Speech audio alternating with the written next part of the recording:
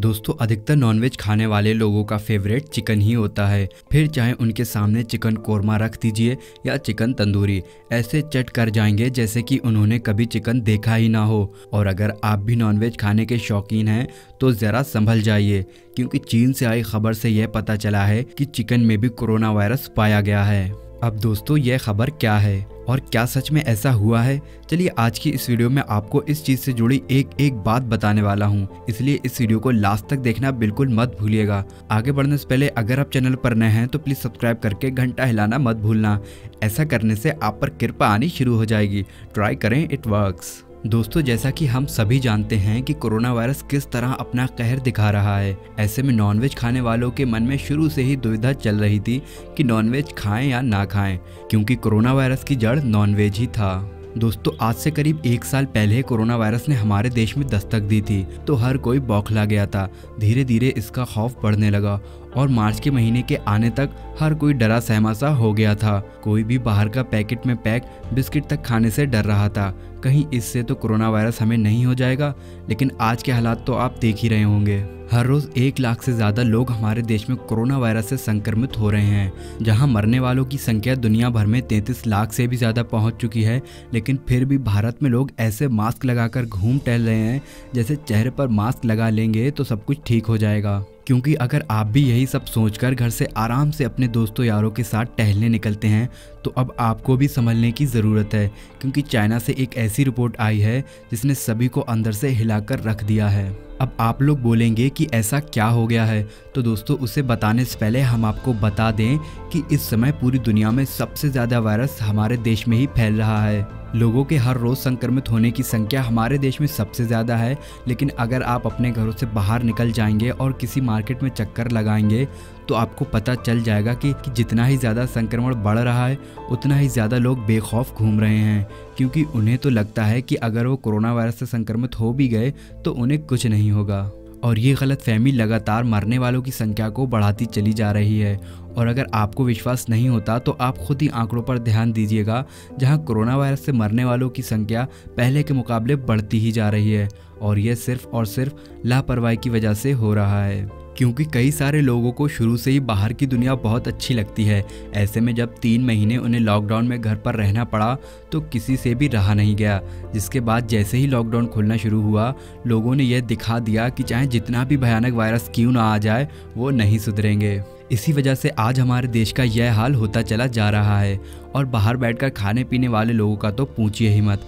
खास करके नॉनवेज खाने वाले लोग, जो मज़े से चिकन तंदूरी समेट पड़े हैं और अगर आप भी उनमें से एक हैं तो हम आपको बता दें, जब ब्राज़ील से चाइना फ्रोज़न चिकन यानी कि जमे हुए चिकन को भेजा गया तो चाइना में उसका लैब टेस्ट हुआ, जिसमें यह पाया गया कि चिकन यानी कि मुर्गे के अंदर कोरोना वायरस के संक्रमण थे। हमें पता है, आप में से ज़्यादातर लोग यही सोच रहे होंगे कि यह कैसे हो सकता है। यह बीमारी तो इंसान से इंसान में फैल रही है, भला चिकन को कैसे ये बीमारी हो सकती है? तो दोस्तों, अब आप खुद ही सोचिए कि जब ये फ्रोज़न चिकन पैक किए जा रहे होंगे तो किसी ना किसी इंसान ने तो इन्हें छुआ ही होगा। और जिस इंसान ने इसे छुआ होगा, उसे संक्रमण होगा, और वो चिकन में आ गया। जिसके बाद एक चिकन से होता हुआ वो सभी चिकन में पहुँच गया। ऐसे में अगर चाइना में चिकन का लैब टेस्ट ना होता तो जो इस चिकन को बनाता, उसे भी संक्रमण हो जाता। हालाँकि बाद में जब ये पूरी तरह से पक जाता तो शायद इसके अंदर का कोरोना वायरस ख़त्म हो जाता। लेकिन जब तक इसे हीट नहीं किया जाता, तब तक इसके अंदर संक्रमण रहता, और जितने भी लोग इसे छूते, उन्हें यह संक्रमण होता चला जाता। ठीक इसी तरह हो सकता है कि जो चिकन आप खाते हैं, वो किसी संक्रमित इंसान द्वारा छुआ गया हो, या फिर हो सकता है मुर्गे के अंदर यह वायरस विकसित हो रहा हो और एक मुर्गे से दूसरे मुर्गे में जा रहा हो। हालाँकि इसके बारे में भी अभी कुछ नहीं कहा जा सकता, लेकिन हम अनुमानित तौर पर यह ज़रूर कह सकते हैं कि ऐसा भी हो सकता है। वैसे तो इन सब चीज़ों के पीछे ब्राज़ील ने अपनी कोई भी टिप्पणी नहीं दी है। अब चाइना लाख दो के धोखेबाज क्यों ना हो, लेकिन इतना तो है कि दूसरे देश को नीचा दिखाने के लिए कोई भी मौका नहीं छोड़ेगा।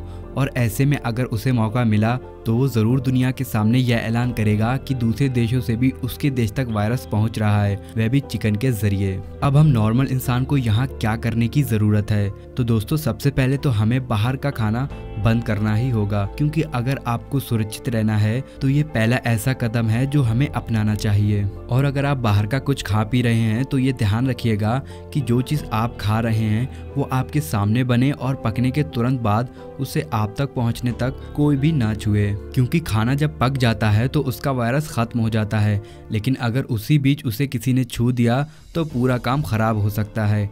इसलिए खुद भी सुरक्षित रहें और यह पूरी कोशिश करें कि नॉनवेज को कुछ समय के लिए त्याग ही दें। क्योंकि नॉनवेज का क्या? वह तो आप इस महामारी के बाद भी खा लेंगे, लेकिन ज़िंदगी कहाँ से वापस लाएँगे? कोरोना महामारी से इस वक्त पूरा देश परेशान है। इससे बचने के लिए लगातार प्रयास जारी हैं। अगर कोरोना से बचना है तो हमें कुछ बातों का ध्यान रखना बेहद ज़रूरी है। आइए जानते हैं दस बड़े उपाय कोरोना से बचाव के लिए। कोरोना से बचाव के लिए सामाजिक दूरी रखना बहुत ज़रूरी है।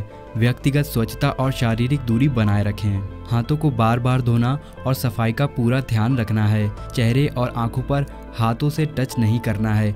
यदि आपकी चेहरे को बार बार टच करने की आदत है तो उसे तुरंत बदल डालें। लॉकडाउन का ईमानदारी से पालन करें। अपने इम्यून सिस्टम को मज़बूत बनाइए, जिसके लिए पौष्टिक आहार व योग को अपनी दिनचर्या में शामिल करें। दिन भर में कम से कम एक बार हल्दी वाले दूध का सेवन ज़रूर करें, गुनगुने पानी पीने की आदत डालें। बाकी दोस्तों, आपका इस पर क्या कहना है, हमें कमेंट करके ज़रूर बताइएगा। और ऐसे इंटरेस्टिंग वीडियोस को लगातार देखने के लिए हमारे चैनल को लाइक शेयर और सब्सक्राइब करना ना भूलना। धन्यवाद।